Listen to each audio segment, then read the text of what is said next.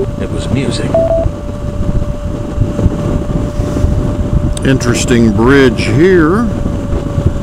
Uh, Highway 11 from Thunder Bay on has pretty much been under construction. Looks like they're making it into a four lane, but kind of a cool looking bridge.